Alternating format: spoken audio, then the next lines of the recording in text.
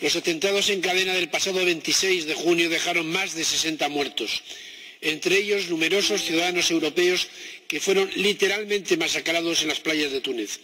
Los tres ataques se suman a esta oleada de odio y radicalidad sin precedentes con la que empezamos a convivir, una situación extrema que parece estamos dispuestos a aceptar como habitual.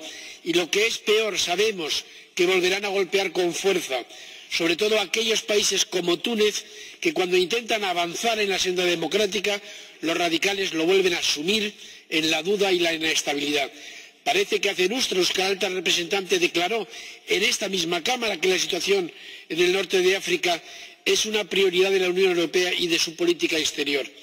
Tras el atentado al Museo Nacional del Bardo, empezamos a darnos cuenta de la importancia y la necesidad de que la Unión Europea con todas las herramientas a su alcance, se involucre en la lucha contra el terrorismo en el norte de África y ayude sin paliativos a países como Túnez, Argelia o Marruecos. ¿Qué avances hemos hecho? ¿Qué objetivos hemos logrado? Que ha cambiado la ayuda económica y financiera no es suficiente.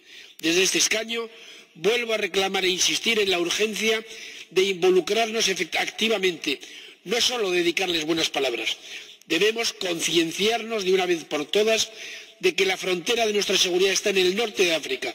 No podemos permitirnos ni un solo foco más de tensión e inestabilidad en la frontera del sur de Europa.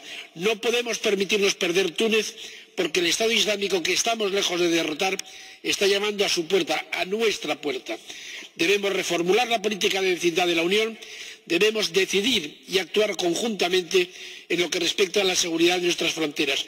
No podemos esperar más para ayudar de manera integral a aquellos países que buscan desesperadamente nuestro apoyo. Sin embargo, y como vengo repitiendo, me temo que, como siempre, llegaremos tarde a este objetivo. Muchas gracias.